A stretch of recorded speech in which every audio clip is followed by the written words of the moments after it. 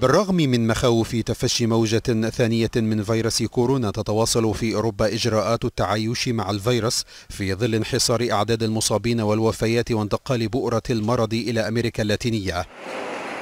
فإيطاليا بدأت فتح حدودها أمام السياح الأوروبيين كما أصبح بإمكان المواطنين التنقل بحرية بين المناطق لكن مع العديد من إجراءات الحماية.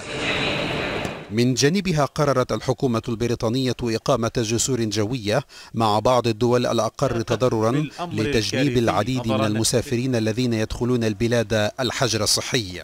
فيما قامت ألمانيا برفع قيود السفر مع 31 دولة أوروبية بدءا من منتصف الشهر الحالي. يأتي هذا في وقت تتزايد الإصابات بالفيروس في أمريكا اللاتينية إلا أن دولا عدة بها بدأت أيضا اتخاذ إجراءات لتخفيف العزل والتعايش.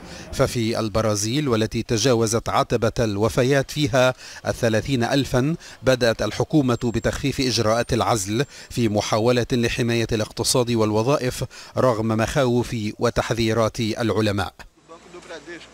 أما الجارة كولومبيا فتجاوز عدد الوفيات الألف بعد أقل من ثلاثة أشهر من رصد أول إصابة.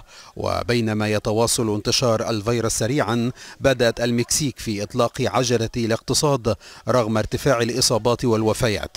هذا وستقوم السلطات بوضع لوحات على منازل المرضى الذين يرفضون عزل أنفسهم في بوليفيا والتي سجلت ما يقترب من عشرة آلاف إصابة. فيما تسبب الفيروس في التقارب السياسي في فنزويلا بين نيكولاس مادورو والمعارض خوان غويدو واللذين أبرما اتفاقا للبحث معا عن أموال لمكافحة المرض.